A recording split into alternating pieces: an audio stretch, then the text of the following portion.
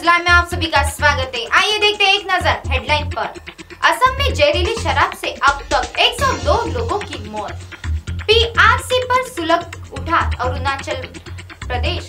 Police firing में एक की मौत। मुंबई की सड़कों पर साइकिलिंग करती नज़र आई सारा अली खान। अब खबरें विस्तार से। असम में जहरीली शराब से अब तक 102 लोगों की मौत हो गई है। अवैध अड्डों पर एक्शन अस, असम में जहरीली शराब मरने की तादाद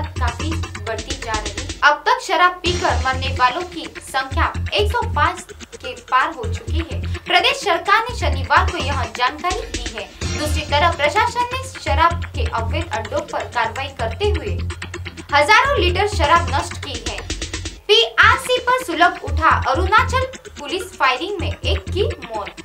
अरुणाचल प्रदेश सरकार ने इस बात की घोषणा की थी कि वह नामसाई और चांगलांग ज़िले में छह समुदाय को स्थायी निवासी जारी करने पर विचार कर रही है। इसके बाद राज्य के कुछ हिस्सों में लोगों का विरोध प्रदर्शन हो गया था। मुंबई की सड़कों पर साइकिलिंग करती नज़र आई सारा अली खान। केदारनाथ से बॉलीवुड में कदम रखने वाली सारा अली खान इन दिनों में सिम्बा के सक्सेस के बाद नए प्रोजेक्ट में बिज़ी है। हालाँकि सारा अली खान, अगला प्रोजेक्ट क्या होगा इस बारे में ऑफिशियल घोषणा नहीं हुई है। शनिवार रात को मुंबई में साइकिलिंग करते हुए स्पॉट में किया गया। तो खबरों में आज के लिए इतना ही।